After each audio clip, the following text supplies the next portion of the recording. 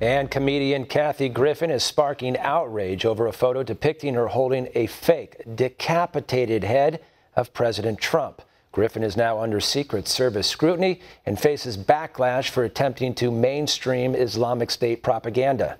One America's Rachel Acenas has more.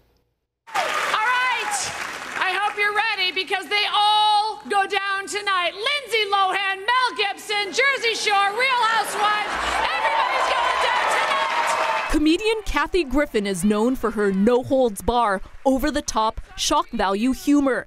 Now, the 56 year old comic who believes nothing or nobody is off limits when it comes to comedy admits herself she has gone too far. It's this photo of the comedian which has taken center stage, but this time nobody is laughing. In it, Griffin stares seriously and directly into the camera while hoisting up a fake head of President Trump, dripping with blood. It attempts to mimic ISIS propaganda, photos of Islamic militants holding the severed heads of captured hostages. And for the first family, the shocking image hits close to home. Sources say Barron Trump saw the image himself on TV, screamed for his mother, thinking the fake image was actually real. President Trump called the decapitation joke sick, tweeting his son is traumatized over the photo. Kathy Griffin should be ashamed of herself. My children, especially my 11 year old son Barron, are having a hard time with this. Meanwhile, the First Lady said, As a mother, a wife, and a human being, that photo is very disturbing.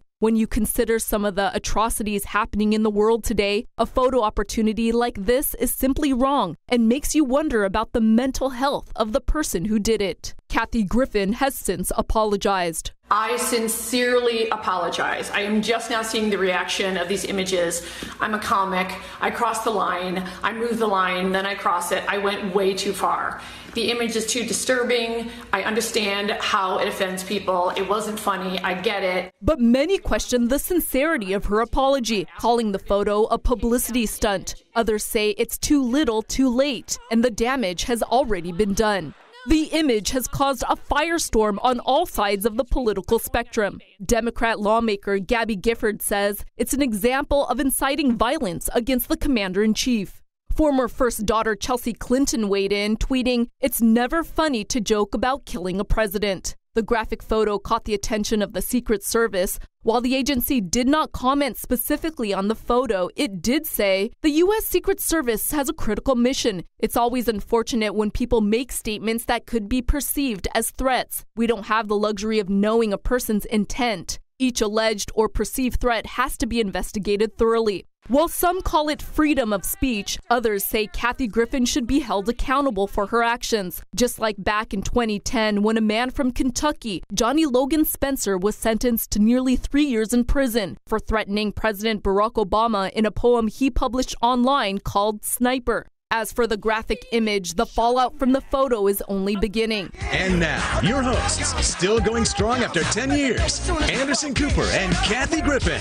CNN has fired Griffin from its New Year's Eve coverage, which she co hosted with Anderson Cooper. Her partnership with Squatty Potty has also gone down the drain. The company, which designs bathroom products, has dumped its campaign featuring the comedian, calling the photo deeply inappropriate and contrary to its core values. Nonetheless, the comic who has spent her entire career pushing the boundaries of comedy has attempted a joke which many are calling no laughing matter. Rachel Acenas, One American News.